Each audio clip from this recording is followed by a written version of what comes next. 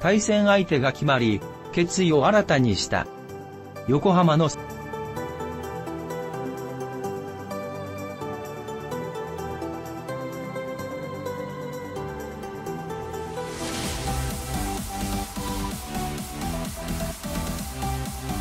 奥川投手は頭一つ抜けています。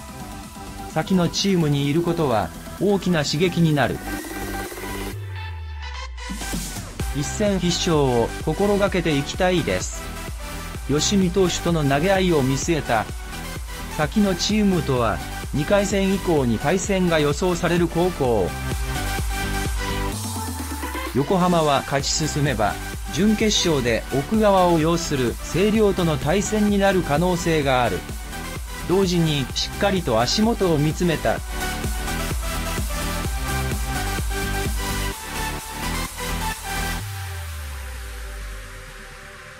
初戦の対戦校は明豊に決定。抽選会が開かれた午前中は学校で体育の授業を受けており、サッカーを行っていた。授業の後に抽選結果自身の置かれた立場は十分に承知しており、対策されるので、それ以上の結果を求められます。できるように心がけたいですと大会2日目に最高潮の状態へ持っていく。奥川は総合力の高い投手。僕が比較されていいのかと思っています。1、2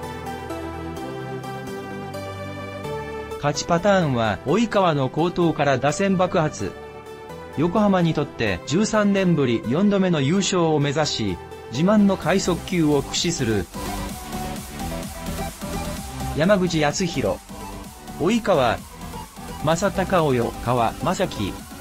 2001平成13年4月18日生まれ、17歳。千葉県出身。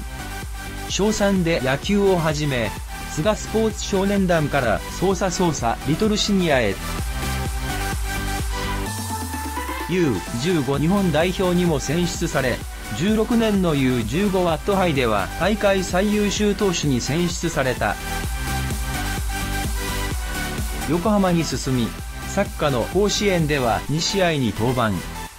183センチ、73キロ。左投げ、左打ち。